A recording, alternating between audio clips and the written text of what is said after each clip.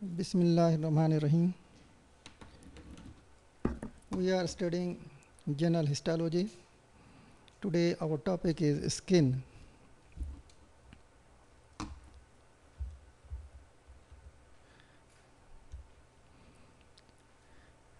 Skin is a part of integumentary system and this integumentary system includes uh, skin with its uh, appendages which are hair and nail. You all know that skin covers the surface of our body and uh, it comes into direct contact with external environment and the skin is the heaviest organ of the body which forms one sixth of the total body weight. And if we see the surface area, it will be 16 square feet. Now we take close observation of the skin. You can see your hands, palm of the hand. It has external surface which shows lines such as tension lines and these tension lines are due to anchoring fibrils of the dermis. Skin also has flexure lines which are present over the joints due to which we easily flex our joints.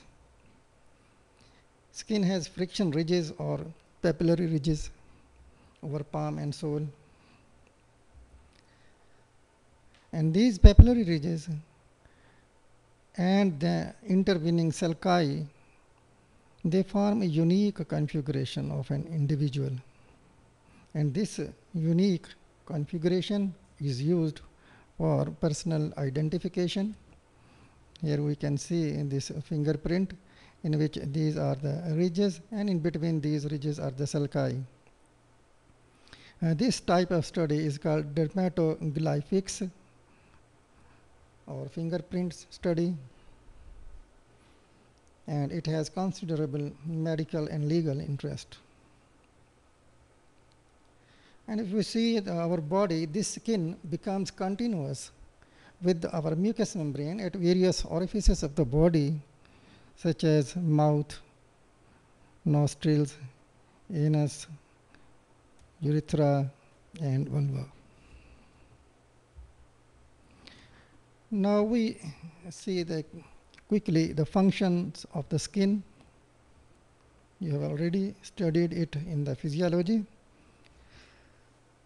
First one is the protection. As we see, skin protects our body against mechanical trauma, invasion of microorganisms, and many other harmful rays.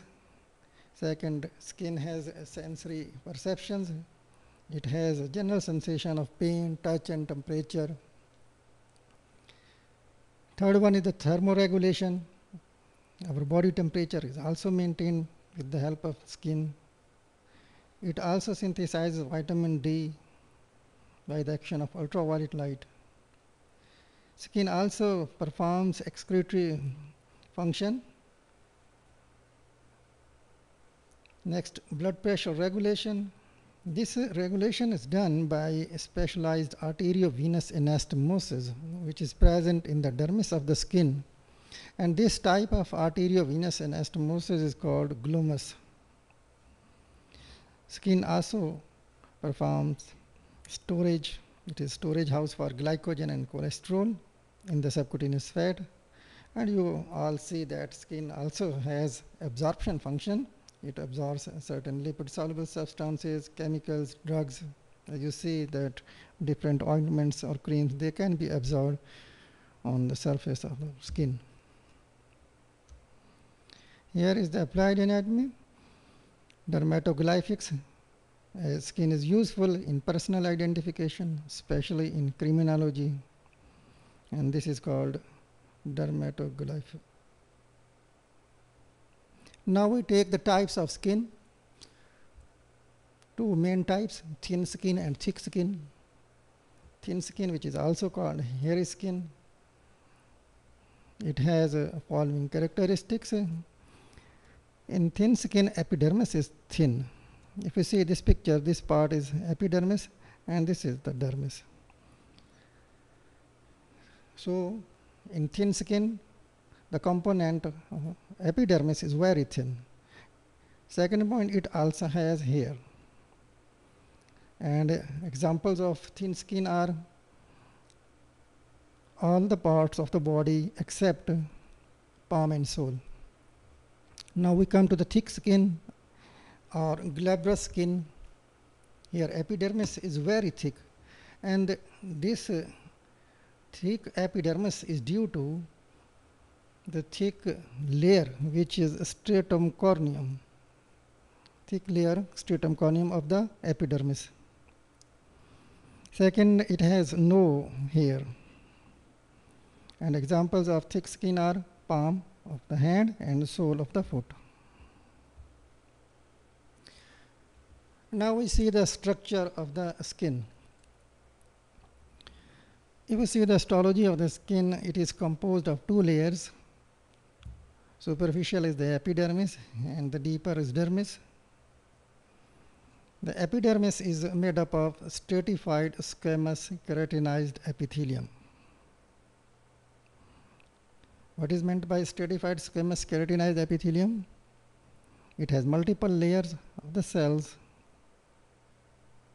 and the superficial layer is flat cells or squamous cells. So it is called stratified squamous and it, its superficial layer is uh, contains keratin. So the complete name of this epithelium is stratified squamous keratinized epithelium.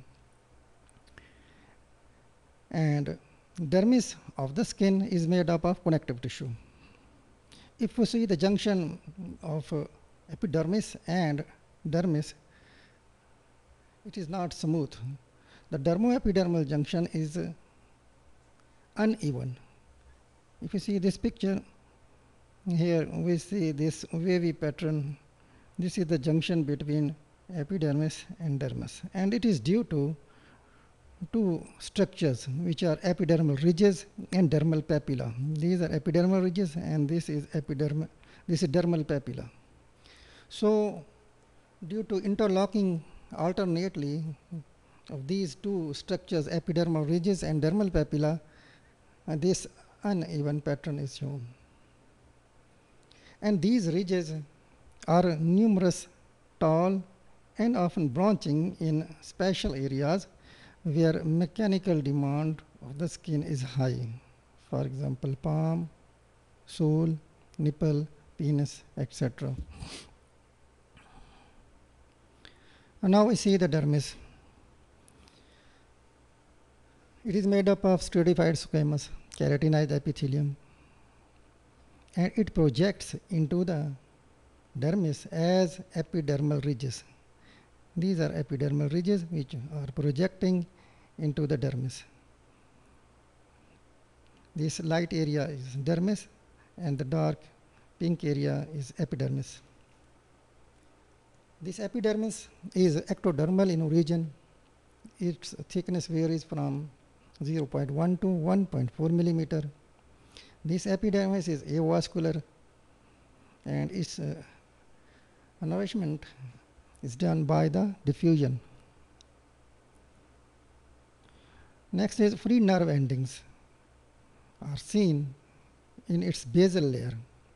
Next we come to different layers of the epidermis. The, its basal layer contains free nerve endings. And this epidermis is made up of different cells which are keratinocytes, melanocytes, Langerhans, and Merkel cells. And this epidermis is renewed every 15 to 30 days depending on the region of the body, age of the person and many other factors. This is low power slide of the thin skin. Here we see epidermis and this light area is the dermis. These are dermal papillae and these are epidermal ridges.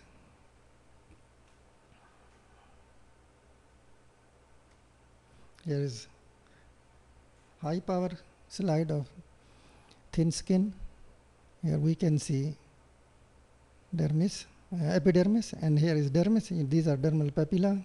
This is dermal papilla. This is dermal papilla. This is epidermal ridge, and it is hair follicle, and these are sebaceous gland in the dermis.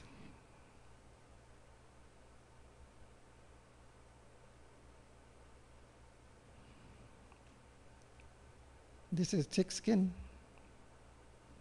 in which the dermis is thick as in which the epidermis is thick as compared to the thin skin. It has no hair follicles, no sebaceous glands, only sweat glands are present. This is high power picture of the thick skin. These are different layers of the epidermis and these are dermal papilla.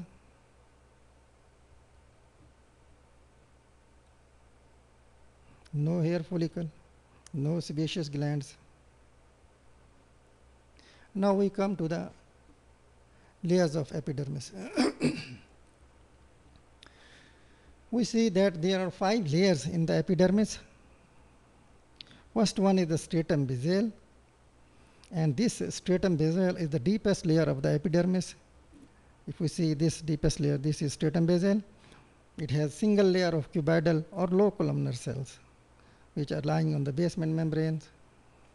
And these cells have property of mitosis and mitotic figures are very actively shown here. Newly formed cells move toward the superficial layer. Then we come to the second layer, stratum spinosum. This is stratum spinosum and it consists of several layers of polyhedral cells. And these cells are held together by desmosomes at the spine-like projection of the plasma membrane. In the plasma membrane of these cells has spine-like projections and these projections they are uniting with one another with desmosomes, hence the stratum spinosum. Next uh, characteristics of these cells is that they have bundles of tonofilaments which are seen under light microscope as tonofibrils. And this layer is well developed in areas of skin subject to continuous friction and pressure. Here we can also see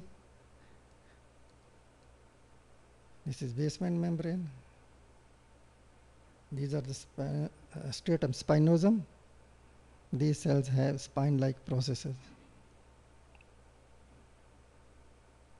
Now we come to the third layer, which is stratum granulosum.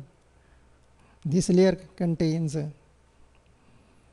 three to five layers of flat and fusiform cells. These are fusiform cells, and they are filled with basophilic keratohyalin granules. These are precursors of the keratin and membrane coating granules. And these membrane coating granules discharge their contents in the intercellular spaces of the granular layer and they provide epidermis a sealing effect against foreign material. So the sealing effect is present in this stratum granulosum. Next is the stratum lucidum.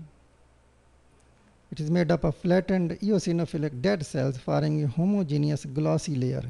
This is transparent or glossy layer. Organelles and nuclei are no longer evident in these cells. Cytoplasm is filled with tough scleroprotein which is called keratin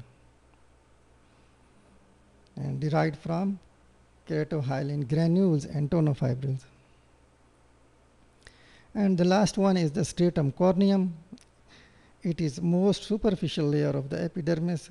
It contains flattened cells, non-nucleated dead cells, and scaly keratinized cells. And plasma membrane of these cells is thickened and cytoplasm is filled with keratin. These cells, the cells of this layer are continuously shed from the superficial surface.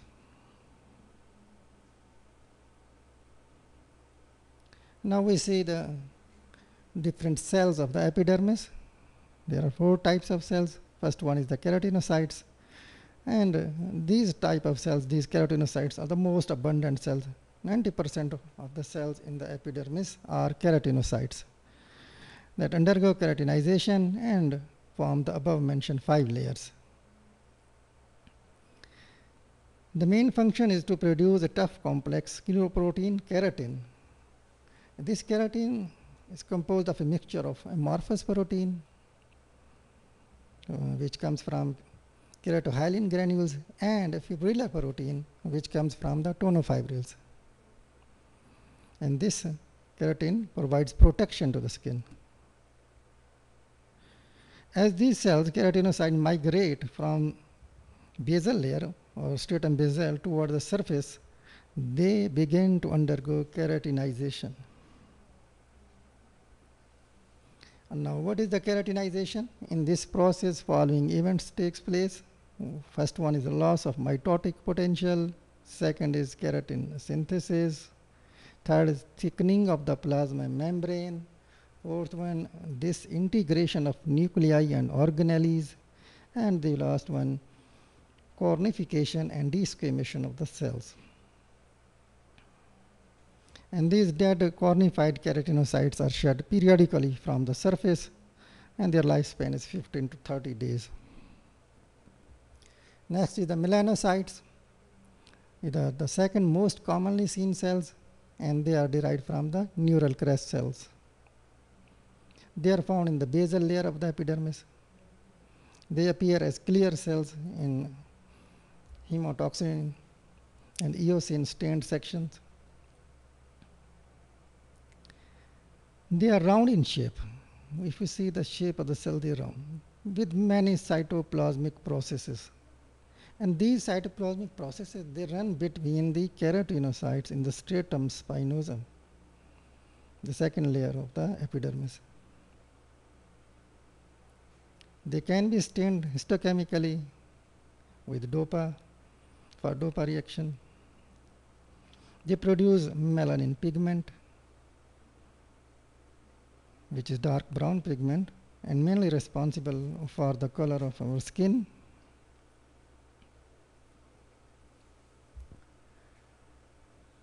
They transfer melanin pigment into the keratinocytes and this process is called cytocrine secretion.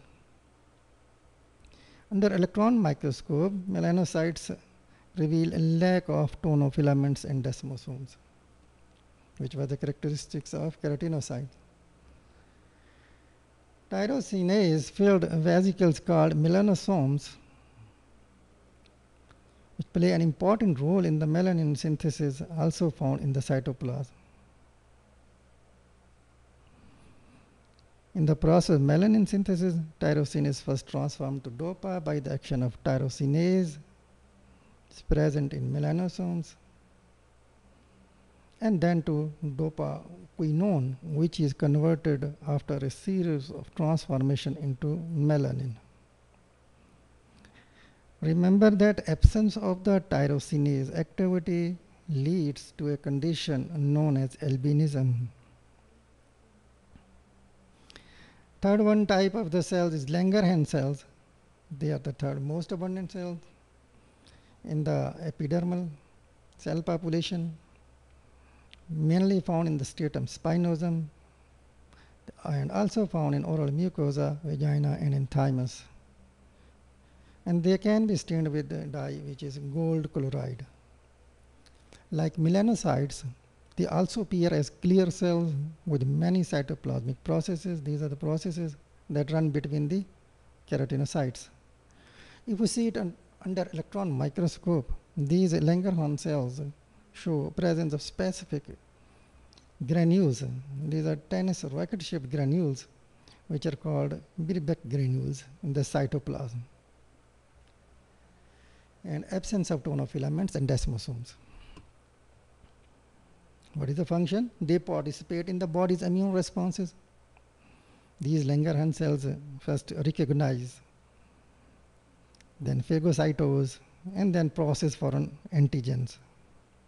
And then they present these antigen to T lymphocytes for an immune response.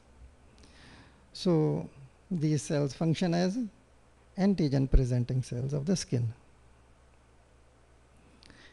If you see the origin, they are mesodermal in origin and uh, they are included in mononuclear phagocytic system.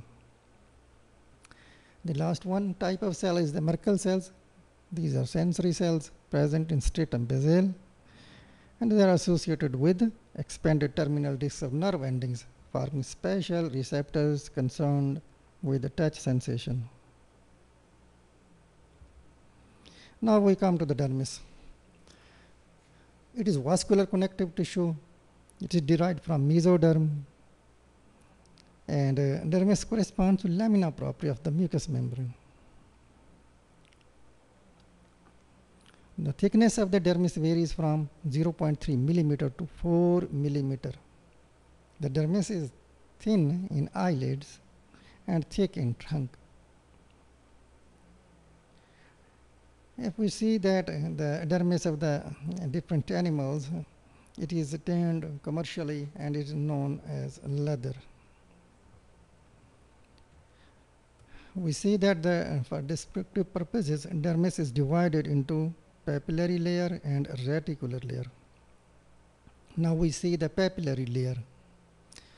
This is superficial layer of the dermis is composed of loose connective tissue and it contains fibroblast, macrophages, mast cells, leukocytes, and sometimes pigmented connective tissue cells called chromatophores. In heavily pigmented areas like areola, circumanal region, etc. The uh, true melanocytes can be seen in Mongolian spots in the sacral region of the infants up to the fifth month these are the Mongolian spots. The connective tissue of the papillary layer projects into the epidermis as dermal papilla. And these dermal papilla interlock with alternately with the epidermal ridges. And this is this forms dermoepidermal junction. And uh, more uneven, especially in thick skins. The dermal papilla contains either blood capillaries or Meissner's corpuscles. This layer also contains perpendicular running collagen fibers called anchoring fibrils. These anchoring fibrils, fibrils bind the epidermis with the dermis and are responsible for tension lines seen on the surface. Now the second deeper layer of the dermis is reticular layer it is mainly composed of irregular collagenous connective tissue type 1 collagen. Though the fibers are irregularly arranged, if we see in general, they are longitudinally oriented in limbs and transversely oriented in the trunk and neck. And these are called cleavage lines. These make cleavage lines.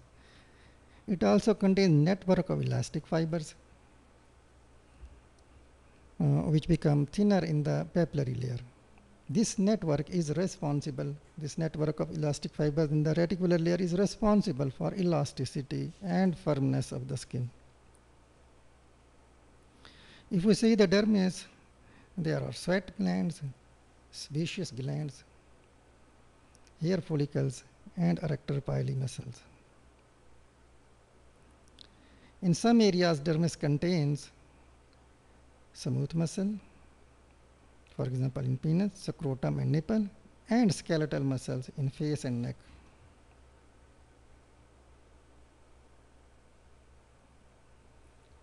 Dermis has rich network of blood and lymph vessels. They form two plexus. One plexus is located between papillary and reticular layer. This is called papillary plexus and other is cutaneous plexus which is between dermis and hypodermis. Similarly, veins of three plexus, two are found in the same plane as arterial plexus and third one is disposed in the middle of the dermis. And we already studied that glomera, which is anastomosis between the arteries and veins, it is present in the certain areas of skin, especially in thick skin. This arteriovenous anastomosis is called glomerula. And blood passes directly from arteries to the vein. And this uh, anastomosis or glomera play an important role in temperature and blood pressure regulation. If you see the other characteristic of dermis, it also contains cutaneous receptors like free nerve endings, peritrichial nerve endings, Meissner's corpuscles, and Pacinian's corpuscles. Here the picture of thin skin which contains hair follicle and these are the sebaceous gland which are identification points of thin skin and this is epidermis which are shown different layers. First one is the corneum, stratum corneum, then these are the stratum spinosum. These are dermal papilla and these are epidermal ridges and the interlocking between these dermal papilla and epidermal ridges. Here is the sweat gland. These are vacuole type empty spaces. These are adipose tissue. This whole thickness is of dermis. And this has two layers, papillary layer and the deeper reticular layer.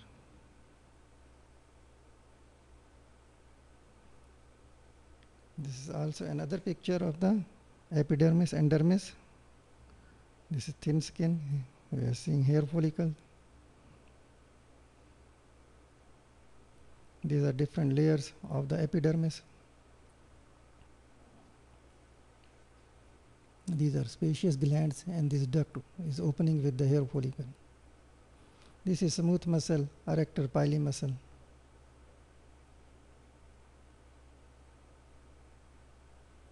This is subcutaneous adipose tissue. Another slide of hairy thin skin. Same, these are layers of the epidermis. This is hair follicle, sebaceous gland. This is muscle, smooth muscle, arrector pili. This is sebaceous gland. This is another picture of thin, uh, thick skin which has no hair follicle, no sebaceous glands. This is stratum corneum, which is thick layer and this from we see from base basement membrane stratum basale with melanin pigment this stratum spinosum then granulosum then lucidum this transparent layer then the last one superficial stratum corneum. And these are the papilla dermal papilla.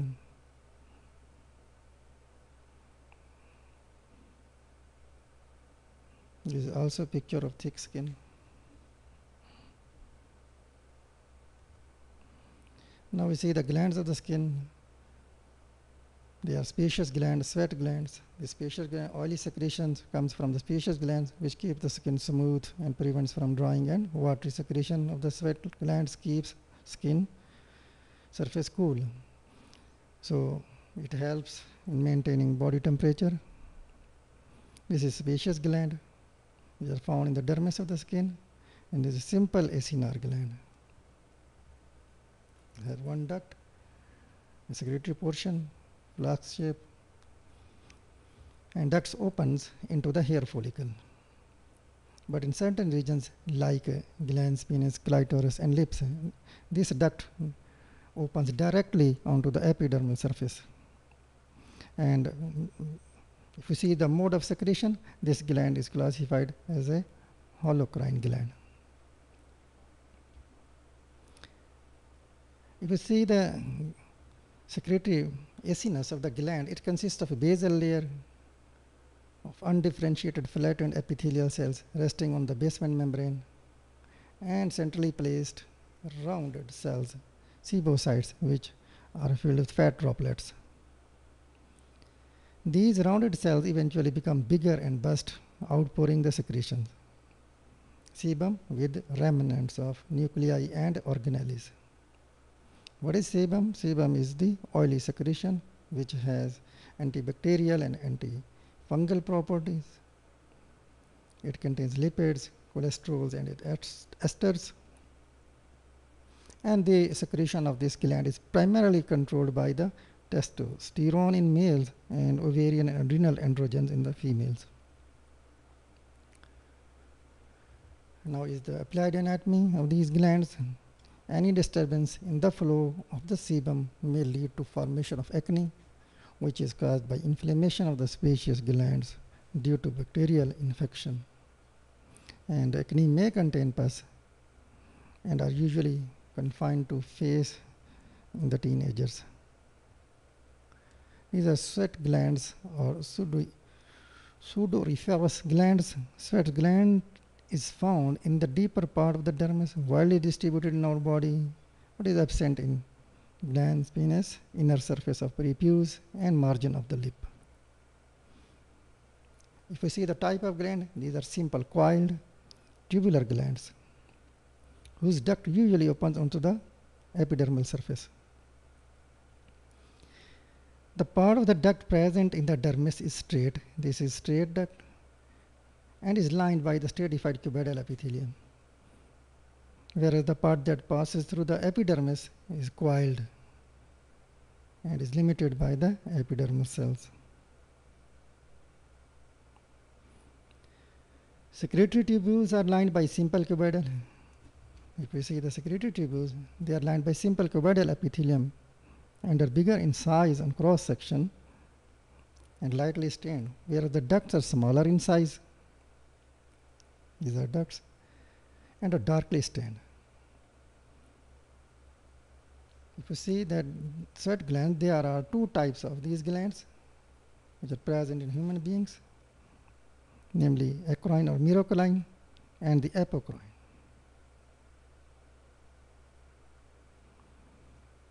These are the different glands, modified glands of the skin, mammary gland, ceruminous glands, in external acoustic meatus, glands of Moll in eyelid, glands of Zeiss in eyelid, tarsal glands, meibomian glands in the eyelid. These are modified apocrine sweat glands, and these are the examples of modified sebaceous glands. Here applied anatomy of the skin psoriasis, which is common skin disease. It is present where the cells in the stratum basale proliferate very rapidly and they undergo keratinization within 7 days. Normal keratinization takes 40 to 60 days. If this occurs quickly, then the cells proliferate and keratinization, then this type of picture is seen and results in increased thickness of the epidermis with immature keratinocytes and they produce raised red patches under white scales. And these cells are desquamated prematurely before the keratin is fully formed. Next is vitiligo, another common skin disease in which melanocytes are destroyed due to an autoimmune reaction and this results in bilateral depigmentation of the skin. These white patches are the seen on the surface. Next, mole or nevi. These are benign accumulation of melanocytes in the dermis, epidermis, or both. If there is chronic exposure to excessive ultraviolet light, it leads to various skin cancers such as basal cell carcinoma, affecting basal cells of the stratum basale or squamous cell carcinoma affecting squamous cells of stratum spinosum and malignant melanoma which affects the melanocytes. If we see the malignant melanoma, it is dangerous invasive tumor of the melanocytes and it may penetrate into dermis and invade the blood or lymph vessels, then it will gain wider ramification. Thank you.